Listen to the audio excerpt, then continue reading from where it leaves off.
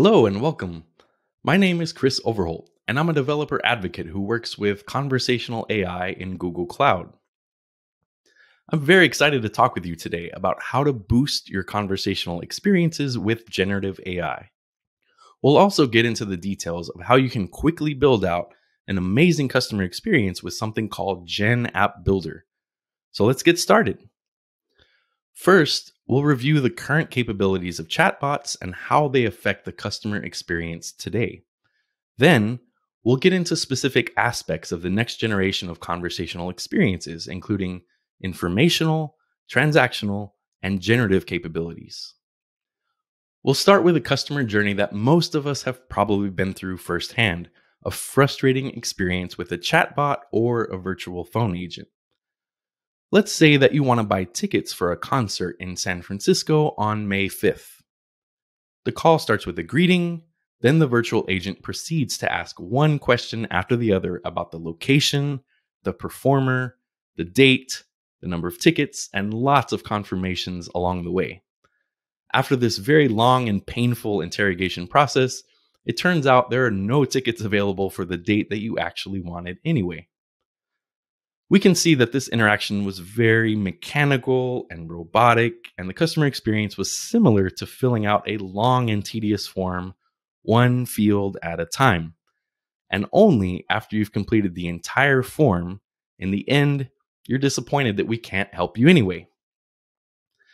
This kind of interaction usually ends with the customer repeatedly yelling into their phone, Customer support, customer support, customer support until they're ultimately transferred to a human agent to handle their issue. Now, instead, let's walk through a more natural and pleasant customer experience. In this case, rather than following prompts from the chatbot, the customer just speaks in plain natural language and states all of the important details up front, just like they would when talking to another person in real life. I'd like to buy two tickets for this particular concert in San Francisco. Then we move on to available dates and payment. Here, we use natural language understanding and machine learning models on the back end, and the chatbot was able to deconstruct, parameterize, and act much more quickly and efficiently with the customer. Now, even when you have powerful natural language understanding models on the back end, implementing a virtual agent is still a very complex process. It's very common for chatbot developers to end up with virtual agents that have hundreds or even thousands of components, since they need to represent all of the different paths that a customer might take along the way. This results in a very large and complex conversation flow that's difficult to implement and even more difficult to update, just like the conversation graph you see on the right side. As a result, developers often get lost in the logic and the routing of the virtual agents, which takes away valuable time and effort that could have gone into designing a more pleasant customer experience. And this is exactly where generative AI comes in to help us better align our chatbots with conversation design principles if we follow fundamental conversation design principles and our development tool handles the implementation details for us, then we're much more likely to end up with a simple and intuitive user experience, which means happier customers, increased call containment rates, and an overall better experience for customers. For the rest of this session, we'll focus on three types of conversational capabilities that you can combine to create amazing customer experiences. First informational capabilities, which means that customers can ask more open ended questions with natural language to quickly get the information they need without chatbot developers having to manually define thousands of questions and answers. Second, transactional capabilities. This means that chatbots can now handle a wider range of tasks and actions automatically rather than needing to escalate to a human agent early in the conversation. And third, generative capabilities. This means combining the first two capabilities to make the customer experience hyper personalized. For example, we could generate or rewrite content in real time based on how the question was phrased or even based on a specific customer profile. Now that we understand the specific challenges and complexities involved with implementing conversational experiences, let's walk through the timeline of large language models and generative AI capabilities so we can understand how we got here and how we can use these together to improve the customer experience. We'll start by discussing what generative AI is and what large language models are. Large language models are built on top of an understanding of general knowledge because they're trained on a very large corpus or a set of documents. Because of this, LLMs can handle much more complex tasks like auto completion, information retrieval, sentiment analysis, and intent detection. And if you're wondering about the term large in large language models, it means that these models have on the order of billions of parameters. And generative AI is the application of these kinds of models to produce content, such as text, images, video, and code. In the case of chatbots, this generated content can actually help customers solve their problems faster by pulling from a larger realm of general information. Now, if we look at the timeline in terms of machine learning and AI developments, Google has always been at the forefront of AI. You can see this both in our research and in our products. Over the last few years, we've made significant investments into building and training large language models. Back in 2017, there was a breakthrough research paper on transformers published by members of the Google Brain team. At that time, transformers represented a huge leap in how well these models performed in the real world. And ever since then, Google's released several other large language models, like the ones you see here on the timeline. Alongside all of this research, we've also been productionizing and making these technologies usable for our own customers in Google Cloud. We're very excited to continue to translate these technical breakthroughs into products that help billions of people around the world. Now, you might be wondering, where does all of this actually fit into Google Cloud? A couple of months ago, we announced a few new products related to generative AI, including foundation models, enterprise search, and conversational AI. These products help developers build apps that surface generative AI capabilities in lots of different ways. For example, foundation models are available in Vertex AI, and they include generative functionality for things like text, code, and images. Enterprise Search complements the foundation models to provide up to date and targeted information from both internal data sources and public websites. Conversational AI, which is the main focus of our talk today, enables developers to steer customers towards productive actions using informational capabilities and can answer questions like How much would my phone bill change if I added international data roaming? Or even transactional capabilities like Help me pay this month's phone bill. Now, we're going to focus on conversational AI and learn how generative AI can enhance customer experiences. Specifically, we're going to take a deeper look into the capabilities provided by Generative AI App Builder, or GenApp Builder for short.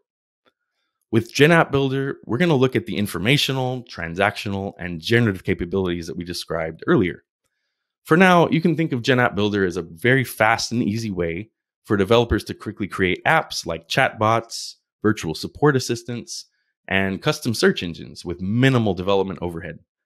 And behind the scenes, the conversational capabilities in Gen App Builder are powered by Google Cloud's natural language models, speech models, and of course, large language models. We've been helping our users deliver more natural chat and voice based experiences over the last several years. And we do this by using virtual agents that support natural language understanding, multi turn conversations, and conversational technologies that are built with Dialogflow in Google Cloud and the same deep learning technologies that power the Google Assistant. Now, for the latest generation of virtual agents that we're talking about today, we're really just getting started with LLM powered conversational experiences and generative AI. And it's going to drastically change the way that we develop virtual agents, as well as how customers interact with them. In this section, we'll talk about a few different ways that GenApp Builder can help you build amazing conversational experiences both in terms of faster chatbot development and directly improving the customer experience. In the past, if you needed to provide an informational chat experience on your website that could answer hundreds of different questions, you would actually need to manually create a very large amount of intents and responses in your chatbot. Then you would need to specify additional variants that represent different ways that a customer might ask their question. But with GenApp Builder, you can skip over all of that tedious step by step process and easily create an FAQ based informational bot that uses existing content from your support knowledge bases or even your internal documentation. On the back end, GenApp Builder uses advanced natural language models to parse and tokenize your website and FAQ content, organize it into question and answer pairs, and then route users to the most appropriate answers at the right time. If you use this approach, you can quickly set up a conversational app that can be embedded on your website or mobile app, and it's instantly ready to help your customers find the right answers. Another capability that we'll discuss is called generative fallback responses, which also focuses on customer facing conversational functionality. In the past, if a user said something that was not represented in the logical design of a chatbot, the virtual agent would fall back to a default intent and respond with some variation of, I'm sorry, I didn't get that. Can you rephrase? And as we saw in the example of a frustrating customer experience, this is a very common point of irritation for customers when it happens over and over during a call or a chat session. Instead of trying to design for hundreds of potential edge cases and potentially over engineering our chatbot, we can instead use generative AI and large language models to create responses for users in real time. For example, we might have a customer who has some questions about travel policies before they actually purchase a flight. Or we might have another customer who wants to know about regional healthcare information in a particular country before they travel. Instead of leaving these customers in the dark with inactionable responses, we can actually use generative responses in our conversation to help us get customers back on the happy path in the conversation flow. Now, we'll move on to more development focused conversation tasks. The next capability we'll discuss helps developers build conversational experiences faster using natural language prompts. Earlier, we talked about how developers can manually create intents, routes, pages, and flows within chatbots. They can do this either using the Visual Flow Designer or by using client libraries in Python, Java, Node.js, and other languages. But if we go one step further, what if we could just describe the task that we want the chatbot to perform? And then our development tool handled all of the details and gave us back a fully implemented conversation flow. Again, that's where GenApp Builder comes in. As you can see here, we don't have to deal with flows, intents, and other low level objects, but instead, we describe what our virtual agent should do to help the user, including the task definition, the end goal, parameters, and even API endpoints and validation checks that should happen along the way. GenApp Builder then uses a large language model on the backend to parse all of these instructions and quickly build out a virtual agent that's ready for us to use. You can think of this capability as a way for chatbot developers to focus more on the conversational design and less on the implementation details, all thanks to the power of LLMs and generative AI. The final capability that we'll talk about also focuses on speeding up the development time of virtual agents. But this time, we're going to talk about handling complex graphs and state transitions more efficiently in conversation flows. Essentially, you describe the conversation flow at a very high level, and then an LLM based intelligence model generates and auto completes a detailed conversation graph and helps you quickly build out a more comprehensive customer experience. Of course, you can still customize every aspect of the conversation flow and dig deeper into specific points of the customer journey when you need to. The traditional conversational development console is still there underneath GenApp Builder if you need more control or if you want to preserve backward compatibility with your existing virtual agents. Looking back at this session, we covered a lot of ground in terms of generative AI capabilities and new approaches for LLM powered chatbots. But what does this actually mean for the future of customer experiences? It means new generative conversational capabilities, easier chatbot development, and the best of both worlds when it comes to combining domain specific information with general knowledge. I'll wrap up our session today with a question that we get asked about a lot in recent times. In a world where there are large language models and generative AI, why do we even need chatbots at all? Why not just drop a large language model on my company website and move on to other interesting problems? Well, the answer has a lot to do with the scope of a large language model versus the scope of a virtual agent. So, if you remember from earlier, a large language model is trained on a massive corpus, which results in a model that acts like a generalist across lots of different topics. And it's really designed to handle open ended conversational dialogues or content generation. On the other hand, a virtual agent is a curated, custom built conversational bot that can guide customers on an optimal path to a specific solution. So if you take one thing away from our discussion today, just know you don't have to choose between generative AI or chatbots. With GenApp Builder, you actually have access to more options to provide a great customer experience that captures the best of both worlds rich AI generated content, along with goal oriented conversation steering. Now, I want to leave you with a few different resources you can visit for more information. First up, if you want to learn more about generative AI in Google Cloud, including everything from foundation models to enterprise grade generative AI solutions, you can visit the first link. If you actually want to try out and give feedback on emerging AI technologies like GenApp Builder, you can visit the second link to join the waitlist for our Trusted Tester program.